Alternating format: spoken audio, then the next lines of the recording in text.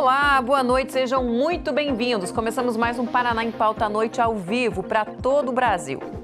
O governador determina força-tarefa para ajudar as vítimas das chuvas em General Carneiro e tem alerta de mais chuva intensa para o estado. Tecpar promove até amanhã o Data Science Summit 2024. O evento tem na programação 22 palestras, três minicursos e mesas redondas com discussões com especialistas em ciência de dados e inteligência artificial. Indústria paranaense cresce o dobro da média nacional nos últimos 12 meses. Novembro Roxo reforça desafios com o nascimento de bebês prematuros. O Brasil ocupa o décimo lugar no ranking mundial de nascimentos prematuros. De janeiro a agosto deste ano, foram mais de 293 mil partos, com menos de 37 semanas. E começa hoje o Festival de Cinema da Lapa. Quatro produções brasileiras vão disputar o troféu Tropeiro. Isso e muito mais você vê a partir de agora. O Paraná em Pauta à Noite está no ar.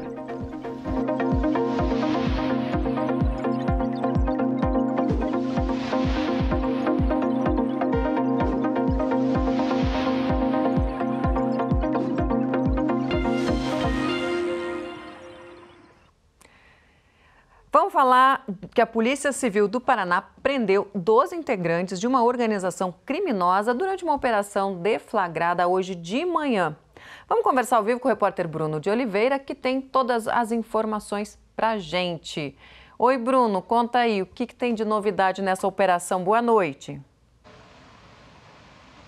Boa noite, Gisá. Boa noite a todo mundo que acompanha o Paraná em Pauta à Noite. Foram vários, diversos os mandados cumpridos pela Polícia Civil aqui em Curitiba e região metropolitana, mais precisamente nas cidades de Araucária, Almirante Tamandaré, Colombo e, claro, na capital paranaense, cumprimento de 21 mandados judiciais, sendo mandados de busca e apreensão em endereços relacionados aos suspeitos de cometerem esses crimes e, claro, o bloqueio de 27 contas bancárias. Nessa história toda, 12 pessoas foram presas por estarem integrando um esquema criminoso especializado em passar golpes em idosos. O delegado da Polícia Civil, doutor Emanuel Davi, explica para a gente como essa quadrilha agia. A associação criminosa lesava idosos, buscando e afirmando que iria diminuir o empréstimo consignado que aquele idoso tinha, mas na verdade, quando pegavam os documentos do idoso e a biometria facial do idoso, faziam novos empréstimos. Sendo que o idoso, por exemplo, que já tinha uma dívida de 50 mil reais, no dia seguinte contraía outra dívida de 50 mil reais, com o empréstimo consignado diretamente na sua folha de pagamento ou no INSS.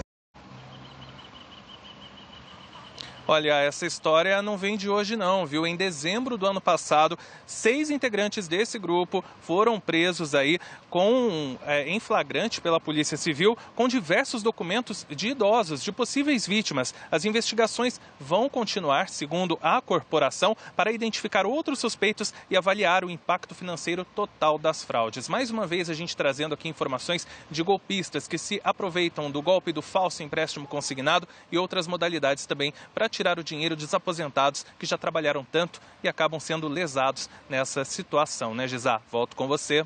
É bem complicado, né, Bruno? Por isso, as pessoas que têm idosos em casa, na família, devem sempre né, estar atento a eles e qualquer dúvida eles devem perguntar, porque os golpes estão aí e cada vez eles se aprimoram mais. Até a gente fica confuso às vezes, né? Então, imagine as pessoas que têm mais idade. Obrigada pelas informações, Bruno.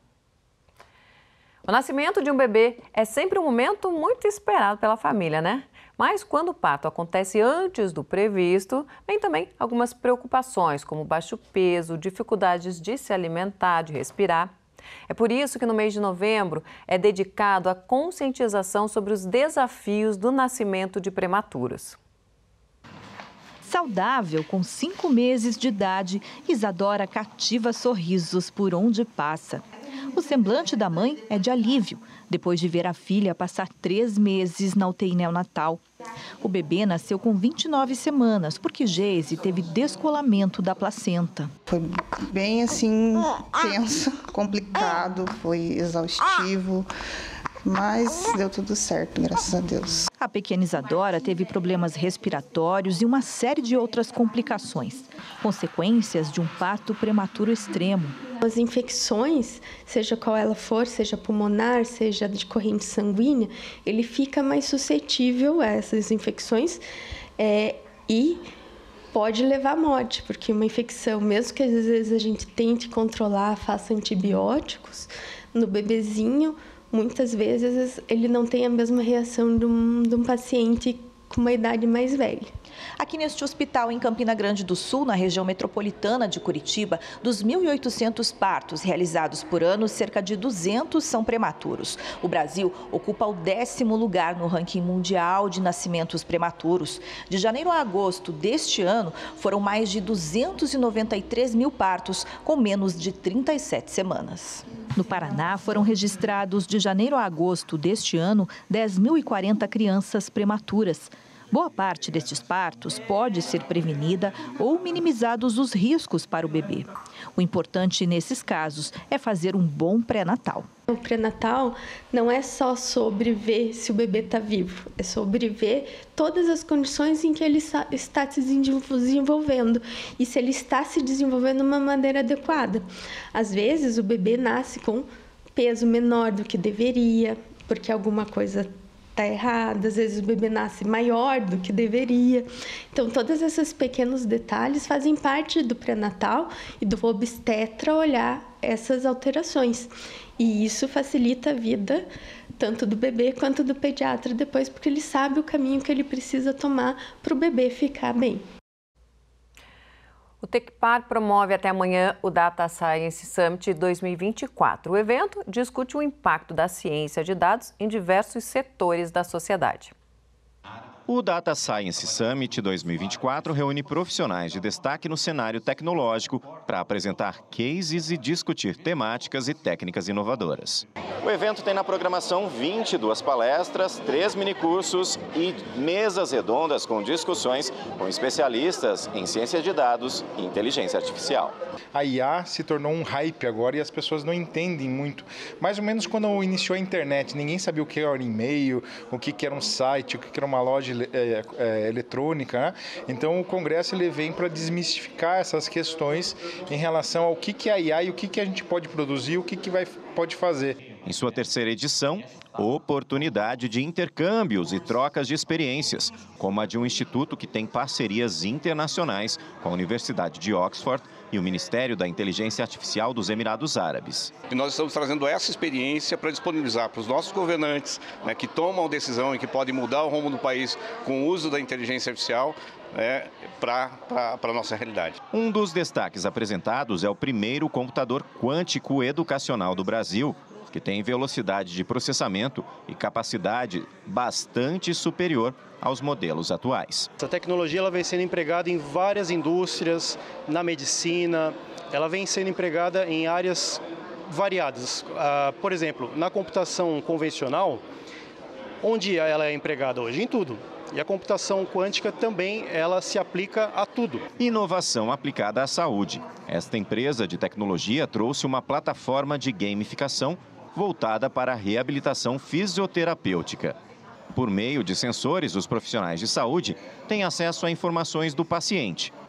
E no jogo imersivo, a criança faz suas sessões como se estivesse brincando. Aqui em Curitiba a gente tem dois é, players rodando, né? Então o Pequeno Príncipe está fazendo esse teste conosco, o pessoal da Clínica Cerny também. E a gente já é, pegou bastante feedback. A gente aproximadamente aí 30% já de ganho de eficácia no tratamento dessas crianças. Ficou interessado? Ainda dá tempo de participar. Todas as informações você encontra no site que está aparecendo aí na tela. Estrangeiros superam barreiras para aprender a língua portuguesa no curso de português para falantes de outras línguas, que é oferecido pela Rede Estadual de Ensino. Quem conta os detalhes para a gente é o Guilherme Pinheiro, da Agência Estadual de Notícias. Boa noite, Zá, e a todos que nos acompanham no Paraná em Pauta. O Centro Estadual de Educação Básica para Jovens e Adultos Paulo Freire, no centro de Curitiba, reúne 70 estudantes de várias nacionalidades para o ensino da língua portuguesa. São alunos da Venezuela, Cuba, Síria, Haiti e de outros países de diversas partes do mundo que escolheram o Paraná como novo lar e que agora contam com o apoio do governo do estado na adaptação para essa nova realidade linguística e cultural. Além da gramática, os estudantes aprendem sobre costumes e maneiras de se comunicar e se expressar que são situações específicas aqui do Brasil. O trabalho é feito a partir de situações reais, como a realização de compras e a ida em consultas médicas, por exemplo, e com o uso de tecnologia, com apostilas e dicionários digitais. Mais informações sobre o projeto e a história de alguns desses estudantes estão na matéria completa no site da Agência Estadual de Notícias. Boa noite e até a próxima. Começa hoje a 15ª edição do Festival de Cinema da Lapa. Quatro produções brasileiras vão disputar o troféu Tropeiro. E ainda vai ter muita programação para todas as idades. Quatro filmes longa-metragem de produções brasileiras vão disputar o troféu Tropeiro em diversas categorias no 15º Festival da Lapa, que vai acontecer na cidade histórica, a 60 quilômetros de Curitiba. E quem vai conversar com a gente sobre esse assunto é a Maria Inês Borges da Silveira, que é organizadora do evento. Maria Inês, quais os destaques deste festival? Vejam só, o Festival de Cinema da Lapa foi criado pelo Instituto Histórico e Cultural. Já estamos na 15ª edição e já é uma referência nacional, já um evento consolidado. Esse ano está preparado de 7 a 10 filmes infantis pela manhã, documentários paranaenses à tarde e os longas à noite competitivos, como você falou que disputa o troféu como um Oscar da cidade histórica. Melhor ator, melhor atriz, direção, montagem, enfim, diversas categorias. Esse ano nós temos convidada a Fabiana Carla, que participa de Repente Sou Miss, é um filme que ela está presente. Jean-Luca Mauad, um ator. Dois documentários bem interessantes, um que é a vida do Silvio Santos e o outro que é a vida de Lala, que era um nascido na Lapa e que e jogou futebol junto com o Pelé no Santos e teve também uma carreira internacional brilhante. E diversas outras atrações, como oficinas, é, palestras, exposições. Então a Lapa oferece nesses dias várias atrações culturais. Então eu convido, volto a reiterar, convido a todos que vão à Lapa, participem de 7 a 10 no Festival de Cinema da Lapa.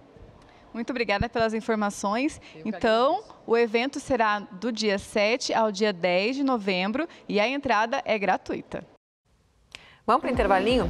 No próximo bloco, indústria paranaense cresce o dobro da média nacional nos últimos 12 meses. E ainda as atrações pelo Paraná na nossa agenda de turismo. É já já. Estamos de volta, agora às 6 horas e 15 minutos.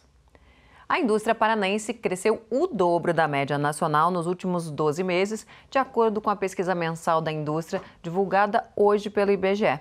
Vamos voltar então a conversar com o repórter Bruno de Oliveira, que tem os detalhes para a gente. Ô Bruno, conta quanto foi esse crescimento, de quanto foi esse crescimento?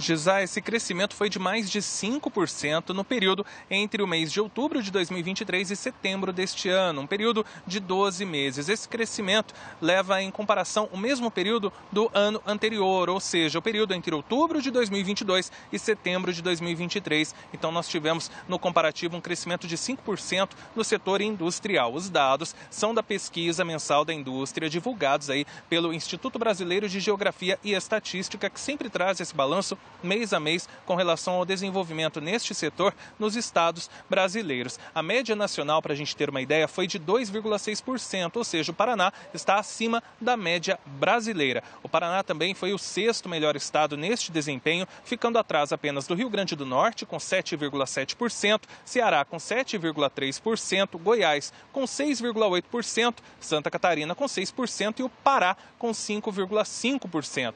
Os principais motores que ajudaram a acelerar a indústria no Paraná foram justamente os setores que envolvem máquinas, aparelhos e materiais elétricos, produtos de madeira, produtos derivados do petróleo e biocombustíveis, bebidas, móveis, produtos de borracha, material plástico. Temos também veículos, reboques e carrocerias e também o setor de papel e celulose. A indústria paranaense cresceu de agosto a setembro deste ano 0,9%, arredondando um ponto percentual. É um índice já melhor que o registrado é, do que foi entre julho e agosto, quando o Paraná teve uma retração neste segmento. Ou seja, depois de uma leve retração, o Paraná voltou a crescer e no acumulado de um ano, um crescimento aí de 5% acima da média nacional. Dados muito importantes para a gente ter a noção do panorama da economia aqui no nosso estado, né, Gisá?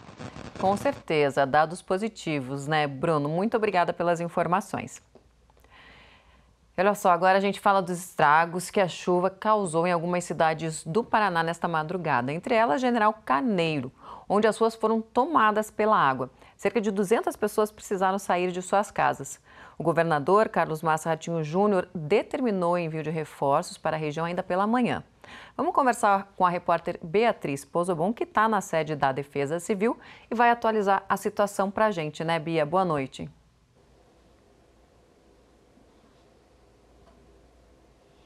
Oi, Gisá, boa noite, boa noite a todos que nos acompanham. Gisá, inclusive, as chuvas desta madrugada causou que uma menina de dois anos foi arrastada pelas enchentes.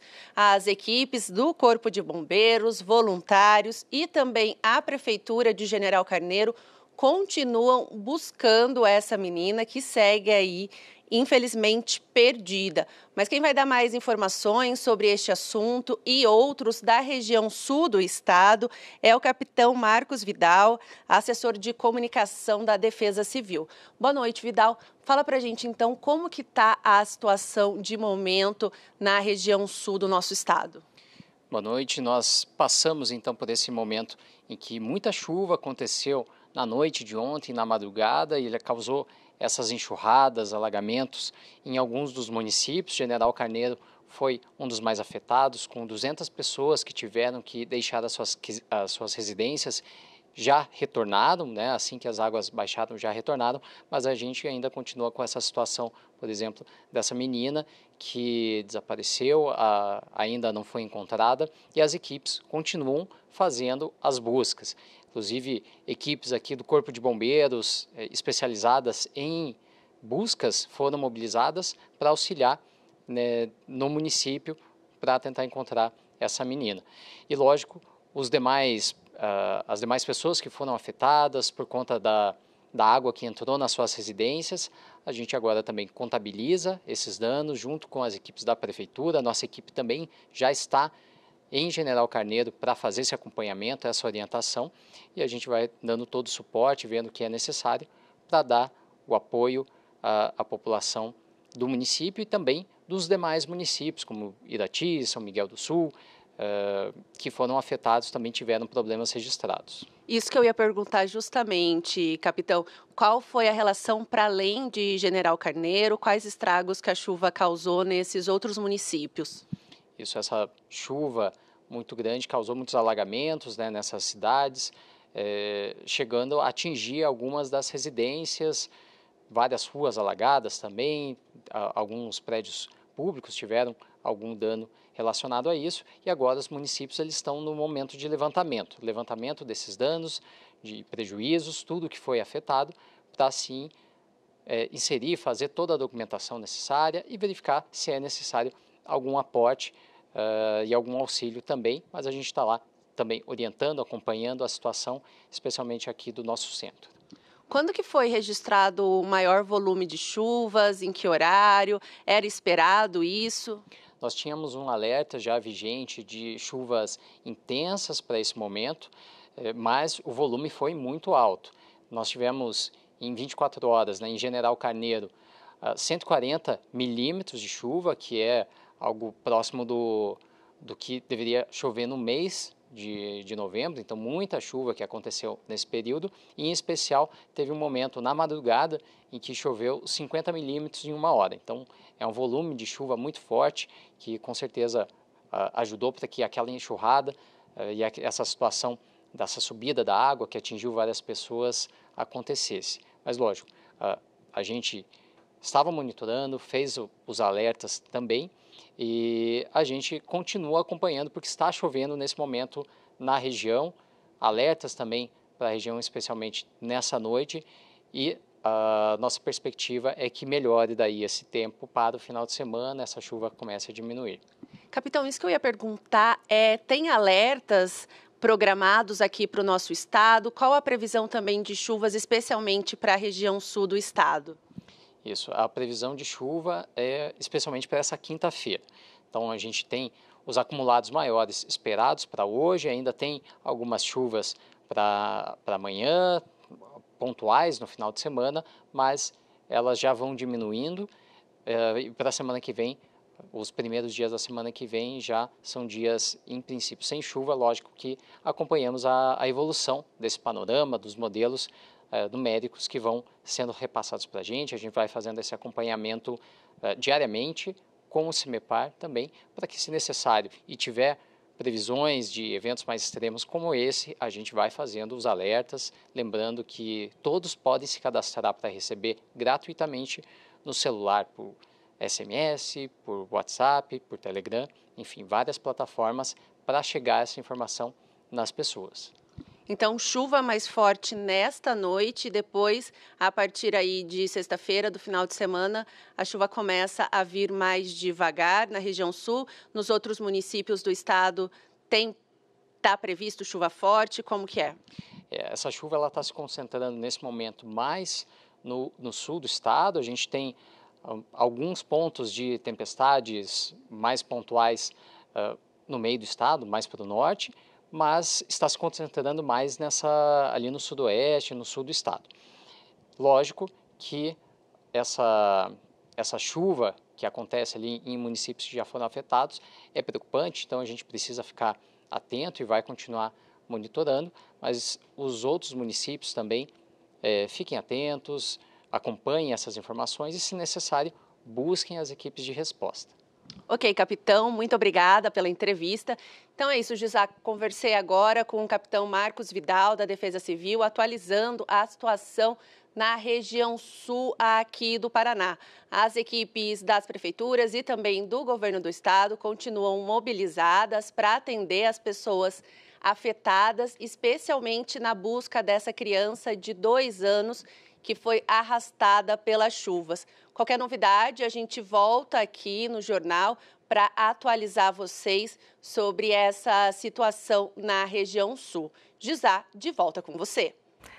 E Bia, é importante reforçar né, que as pessoas podem mandar um SMS para a Defesa Civil para receber aqueles alertas que a Defesa Civil manda para a pessoa poder se preparar né, em relação a esses temporais que ficam previstos. Como o capitão falou, eles monitoram isso diariamente, né? Então a pessoa manda um SMS 4, como que é mesmo o número, Flá?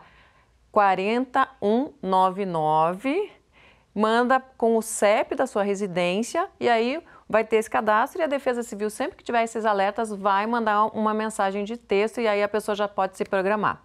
Obrigada, Vilbia. E agora vamos conferir então a previsão do tempo para amanhã.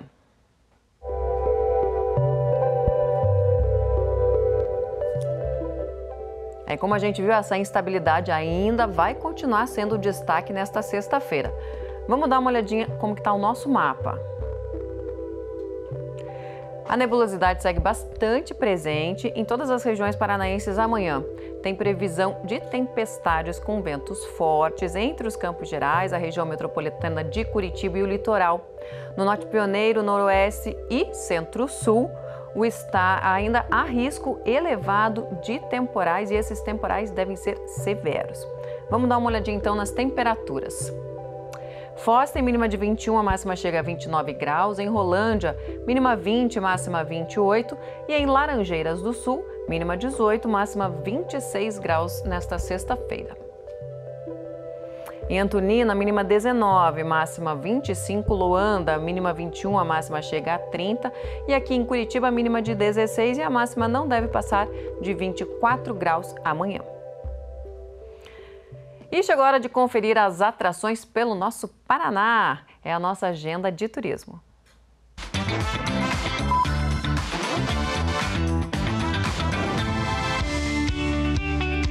Paranaguá tem incontáveis belezas naturais e muita história. Visitar a cidade é conhecer muitas ilhas, com destaque para a Ilha do Mel, com suas praias, seu farol e sua fortaleza. Conhecer Paranaguá é dançar um fandango, andar pelo centro histórico e se encantar com os casarões multicoloridos. Aproveite para visitar o Santuário de Nossa Senhora do Rocio, a padroeira do Paraná, que ilumina até 16 de novembro a fé dos paranaenses e dos turistas em mais uma edição da Festa Estadual de Nossa Senhora do Rocio. Uma programação intensa de missas, novenas, ações culturais, shows cavalgados e muito mais. Participe desse momento histórico de devoção à padroeira do Paraná e aproveite para passear pela Baía da cidade ou provar aquele barreado da culinária local. E você conhece a Terra das Cachoeiras Gigantes? é Prudentópolis, abençoada pela natureza. Berço do rio Ivaí, a pequena cidade possui cânions e quedas d'água, além das trilhas e da vegetação que deslumbram os visitantes. E o privilégio de abrigar as maiores cachoeiras do sul do Brasil, como o Salto São Francisco, com 196 metros de altura. Conhecida como a capital da oração, Prudentópolis tem mais de 100 igrejas e santuários e igrejas do rito bizantino ucraniano. Neste fim de semana, a cidade realiza a festa em louvor ao padroeiro São Josafá, de origem ucraniana, e promove missas, almoço, bingos, leilões e shows musicais ao longo do sábado e do domingo. Conheça Prudentópolis, município com forte migração e tradição dos povos vindos da Ucrânia, aqui no Paraná. E vem aí a 25ª Festa do Frango na Telha, o prato típico de Umuarama. A tradicional festa gastronômica, inspirada no delicioso prato da capital da amizade, ganhou renome estadual e está inserida no calendário oficial da Embratur. O evento acontece neste sábado e no domingo, com o objetivo de servir 5 mil refeições. Além da boa comida, Moarama, com fauna e flora preservadas, tem diversos parques e cachoeiras para quem gosta de curtir a natureza e fazer trilhas ecológicas. Apesar de bem desenvolvida, a cidade ainda guarda a ternura do pacato clima de interior e um ponto de parada obrigatório, a réplica da Torre Eiffel, que fica às margens da PR 323. O monumento tem 10% do tamanho original. Para se chegar ao topo, são 160 degraus. A visitação é de graça. Conheça o Moarama.